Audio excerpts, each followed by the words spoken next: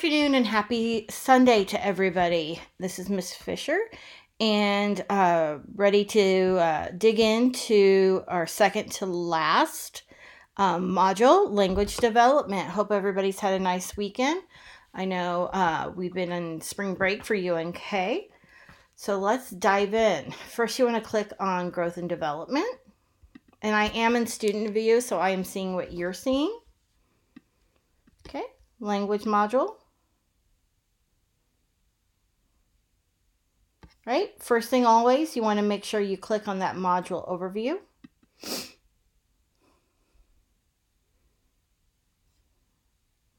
All right. All right, couple things. Make sure if you have not already, you have emailed myself and Mrs. Co. Or not emailed, sorry, filled out the form. We're trying to be more efficient. Filled out the form for, excuse me, for uh, communicating your um, field visit with your cooperating teacher. Okay. Um, assignments coming up. You have my big TE204 voice thread assignment. You have the language development PowerPoint. All right, the components of language. You have a graphic organizer, but this actual time it will be a mind map that's due by Wednesday.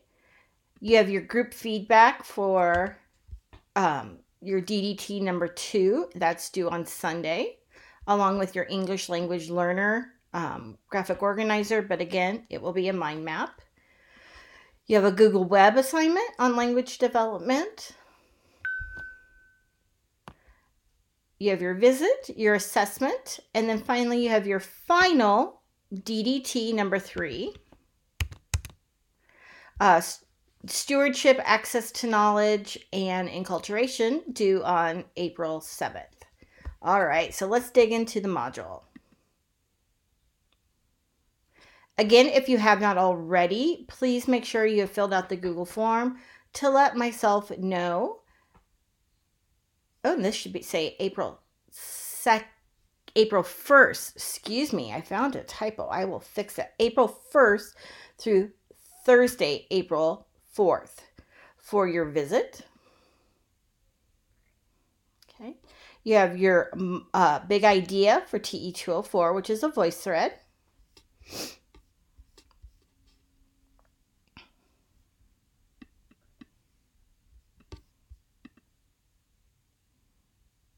You have your PowerPoint.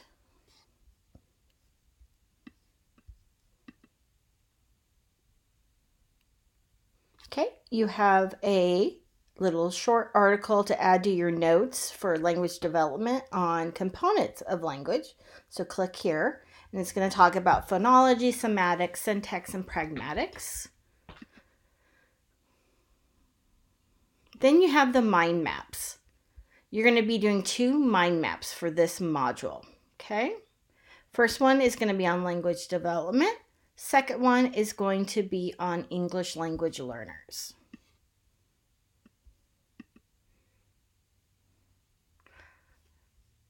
Okay. So here's your first one for your mind map. It's going to be language development. Um, I use for mind ma- ma- for mind mapping. I use a program called MindNode.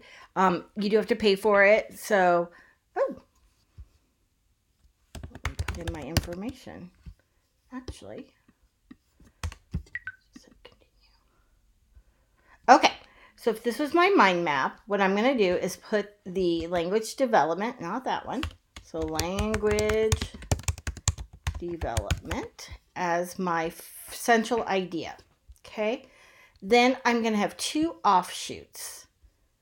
Okay. So for language, I might even look for, because I want, you need color and pictures. So I'm just going to find some images of language like this one. That looks good.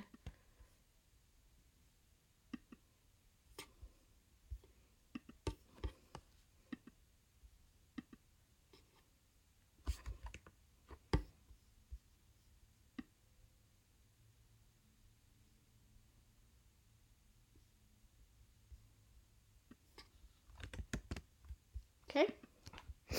Then I'm going to do two offshoots. So the first one I have is Language Development 1, which is Children's Hardwire Abilities to Learn Language. So I'm going to click on that one. Okay, and you have a video. Okay. So that will be your first one. Right? And then you need to have three, minimum of three facts from here. Okay. And of course, you want to use color and pictures. Okay. Then my second one is going to be the Quizlet. Now, the Quizlet's a little bit different. Um, you have to have work through all five of the activities to learn the 11 terms. Okay. Now, then you're going to add seven, at least seven of these terms. Okay. So this one's going to be my next one. Put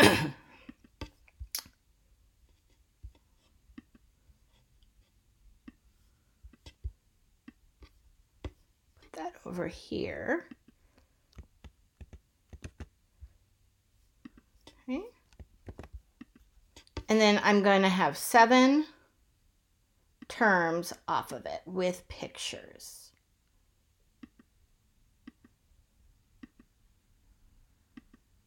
One, two, three, four, five, six, seven. Okay. So that will be kind of your first one. And again, you want pictures, you want color. All right. And then you want short little sayings about those. All right. Okay. So that's mind map number one. Okay. And this is where you'll submit your information. Okay and that's due by Wednesday, March 27th. Okay, here is your DDT number two, Diversity Nurturing Pedagogy and Peer Review. So click here, remember to access your form.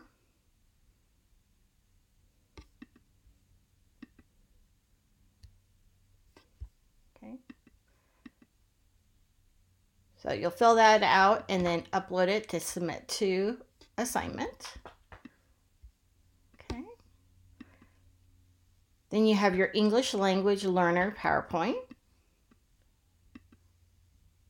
And then you have your second mind map. So this one's going to be your English Language Learner. Okay. So if I was doing a mind map, do a new one. Okay. So here is my center of my, and again, um, if I was doing this online, you can definitely draw this out and then scan it and submit it. Okay.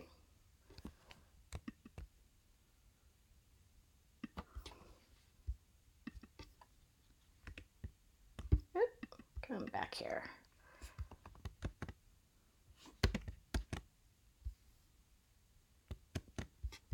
Okay, doesn't want to copy my image.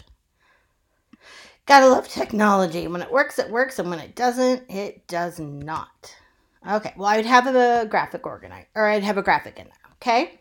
Then this is going to be your first little branch, okay?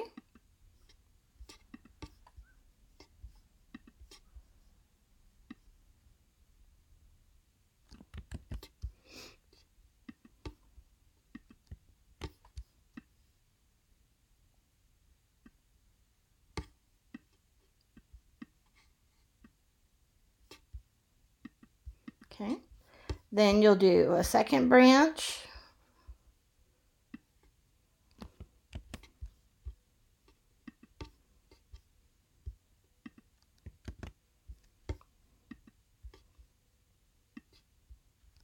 Okay, a third, fourth, and fifth branch.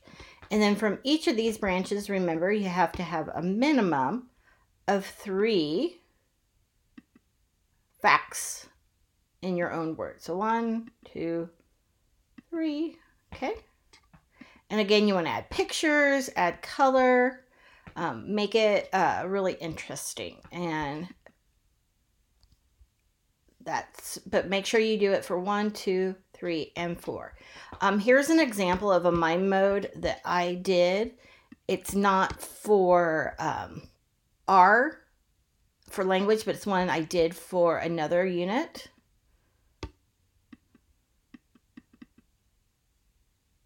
Second, it's downloading it.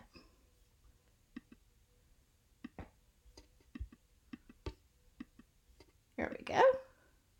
All right, so this one was on Erik Eric, uh, Erik Erikson's theory of psychosocial development. So you'll see how I've used color, I've used, um, you know, short phrases, um, pictures, so you kind of get the idea. And again, you can hand draw these out if you like. Um, you can use, there's other, if you Google mind mapping on the internet, there's information also. But again, um, you just need to make sure your two graphic organizers are in the form of mind mapping. Okay. Then you have a Google Web assignment. Okay. Have some information on social linguistic conventions.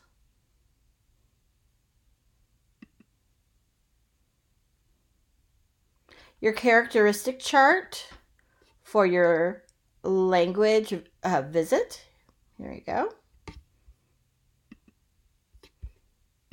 Your field notes. Uploading your field notes.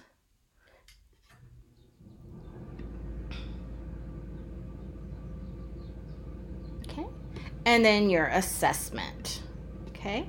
And then we're into our final module. Um, if you have questions, please let me know. Um, otherwise, have a great start to your week, and I will see you later.